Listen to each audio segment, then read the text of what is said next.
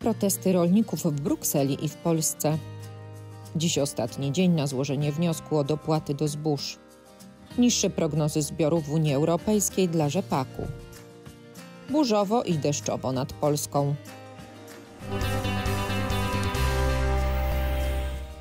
Wczoraj odbył się w Brukseli protest rolników. To już trzecia międzynarodowa demonstracja rolników, która odbywa się w miejscu stacjonowania Komisji Europejskiej. Duże protesty rolników miały miejsce w tym roku w Brukseli 1 i 26 lutego. Główne postulaty demonstrujących to zagwarantowanie opłacalności produkcji rolnej w Unii Europejskiej, złagodzenie sprawozdawczości i wycofanie się z umów o wolnym handlu z regionami spoza wspólnoty. Ale to nie jedyne protesty. Kierowcy tirów muszą liczyć się z utrudnieniami na polsko-ukraińskim przejściu w Chrebennem, gdzie we wtorek rozpoczął się trzydniowy protest rolników blokujących drogę dojazdową do granicy. Rolnicy na granicy solidaryzują się z europejskim protestem w Brukseli przeciwko wprowadzeniu Zielonego Ładu.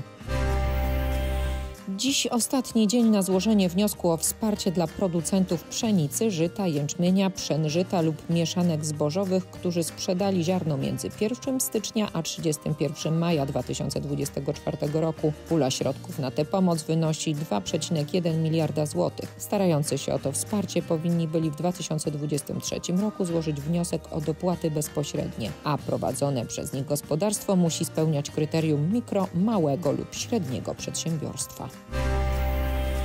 Strategy Greens obniżyło prognozę produkcji rzepaku w Unii Europejskiej. Ma ona być niższa o 10% w porównaniu z rokiem ubiegłym. Na obniżenie prognoz wpłynęła pogoda, zwłaszcza ulewne deszcze we Francji, które wywołały podtopienia upraw. Najprawdopodobniej pogorszy się też jakość surowca. Obniżane są szacunki dotyczące wielkości zbiorów, a na giełdach, ale też i w skupach cena rzepaku rośnie. W umowach terminowych za zbiory 2024 waha się od 1930 25 zł za tonę do 2050 zł za tonę. Ponadto Strategy Greens nieznacznie obniżyła prognozę zbiorów słonecznika i soi Unii Europejskiej na 2024 rok.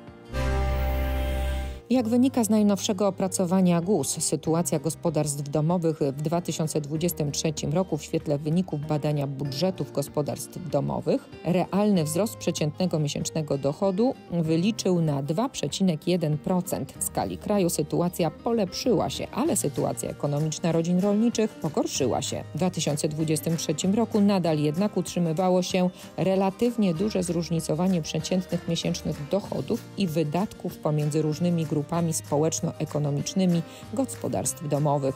Podobnie jak w latach poprzednich, najwyższy przeciętny miesięczny dochód rozporządzalny na jedną osobę w gospodarstwach domowych wyniósł 3313 zł oraz przeciętne miesięczne wydatki na jedną osobę 1862 zł. Wystąpiły one w gospodarstwach osób pracujących na własny rachunek poza gospodarstwem rolnym.